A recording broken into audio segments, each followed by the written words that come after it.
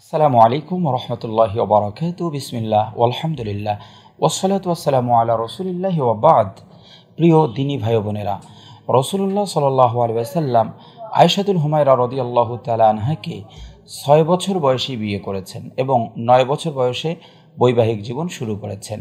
এ নিয়ে পৃথিবীর অনেক নাস্তিক এবং ইসলাম বিদ্বেষীরা মাঝে মধ্যেই প্রশ্ন উত্থাপন করবার চেষ্টা করেন যে তিনি শিশু বিবাহ করেছেন, তিনি বাল্যবিবাহ করেছেন, এমনকি অনেকেই কথাও বলবার চেষ্টা করেন যে তার নারীর প্রতি আলাদা লোভ ছিল। নাউজবিল্লাহমিদ আলিক এরই ধারাবাহিকতায় সাম্প্রতিক সময় আমরা দেখেছি, ভারতের বিজেপির দুজন সিনিয়র নেতা নুপুর শর্মা এবং নবীন কুমার জিন্দাল, তারা দুজনেই এরকম একটি বিরূপ মন্তব্য করেছেন। আর এই মন্তব্যকে ঘিরে বিশ্বময় মুসলমানদের প্রতিবাদ, প্রতিরোধ গড়ে তুলছেন।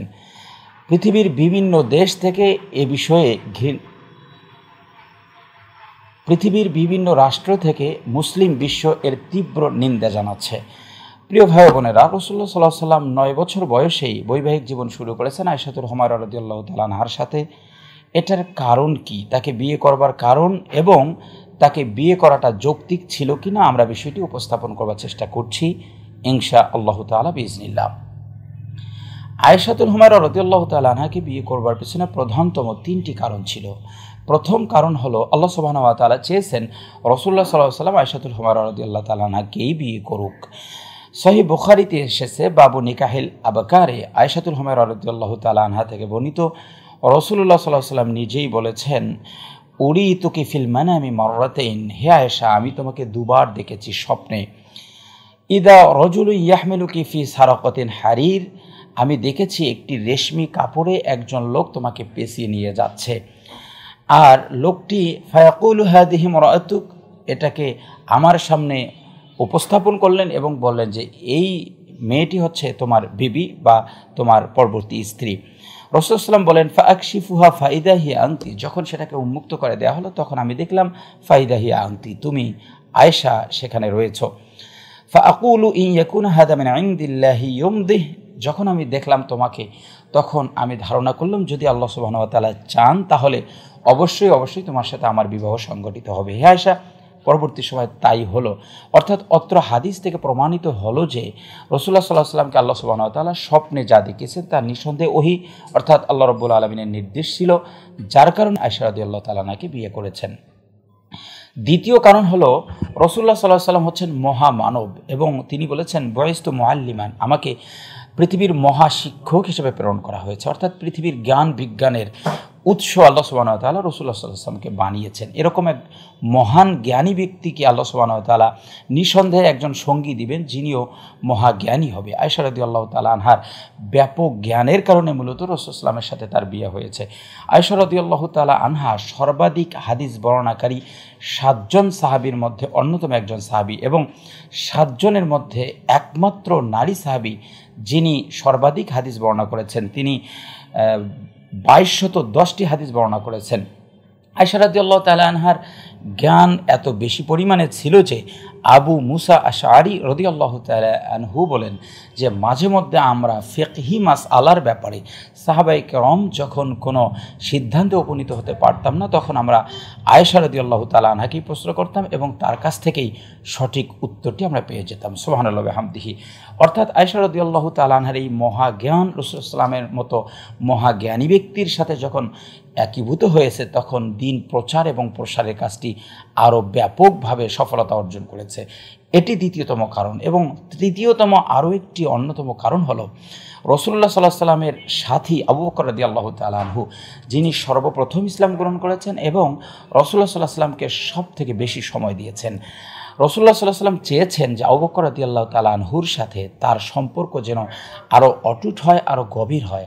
আত্মীয়র বন্ধনে এ সম্পর্কে আরও গভীর করবার জন্য আল্লাহ তালাহার সাথেই তার বিবাহ সংগঠিত হয়েছে। মোটামুটি এই তিনটি অন্যতম কারণেই রসুল্লাহ সাল্লাম আল্লাহ তালাহাকে বিয়ে করেছেন। প্রিয় দিনী ভাই বোনেরা রসুল্লাহ সাল্লাহ সাল্লাম আল্লাহ তালাহাকে নয় বছর বয়সেই তার বৈবাহিক জীবনে নিয়ে এসেছেন।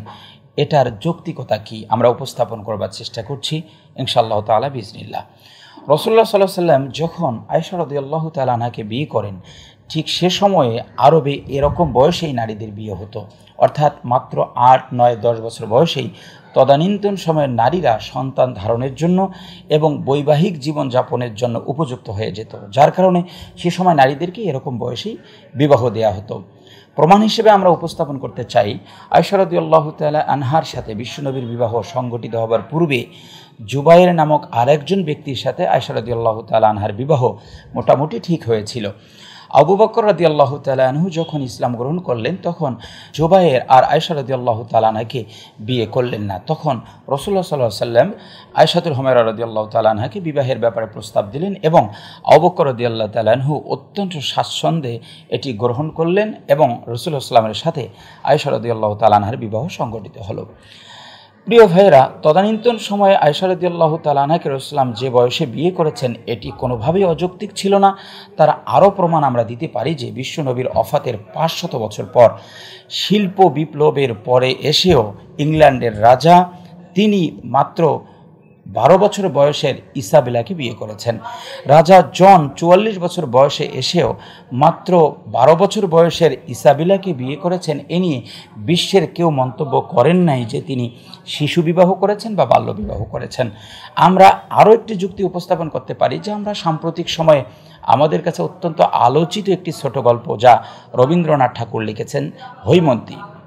হৈমন্তী আমরা পড়লে একথা উপলব্ধি করতে পারি যে হৈমন্তীর বয়স সতেরো হবার কারণে তার শাশুড়ি বারবার তাকে নির্দেশ দিত যে তুমি তোমার বয়সটা কাউকে বলবে না। অর্থাৎ এর দ্বারা বোঝানোর চেষ্টা করতো যে তুমি যদি কখনো সতেরো বছর বয়স বলো, তাহলে মানুষ ভাববে যে তোমাকে বুড়ি বানানোর পরে বিয়ে দেওয়া হয়েছে। অর্থাৎ রবীন্দ্রনাথ ঠাকুরের ছোট গল্প হৈমন্তীও প্রমাণ করে যে আজ থেকে মাত্র পঞ্চাশ বা একশত বছর পূর্বেও ভারত উপমহাদেশেও আট দশ বছর বয়সের নারীদের বিবাহ হতো।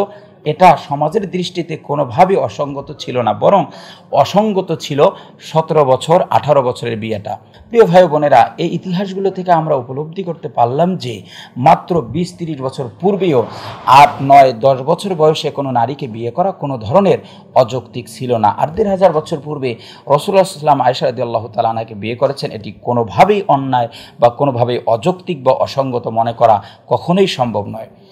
প্রিয় ভাই বোনেরা, যেই সমস্ত নাস্তিক বা ইসলাম বিদ্বেষীরা রসুল্লাহ ইসলামের বিবাহ নিয়ে বিরূপ মন্তব্য করে, আমি তাদেরকে অত্যন্ত চ্যালেঞ্জের সাথে বলতে পারি যে, তারা যেন তাকিয়ে দেখে যে তাদের দাদা এবং দাদির মধ্যে কত বছর বয়সে বিবাহ সংগঠিত হয়েছে। নিঃসন্দেহে তাদের দাদির বয়সটাও দশ, বারো বা চোদ্দোর মধ্যেই ছিল।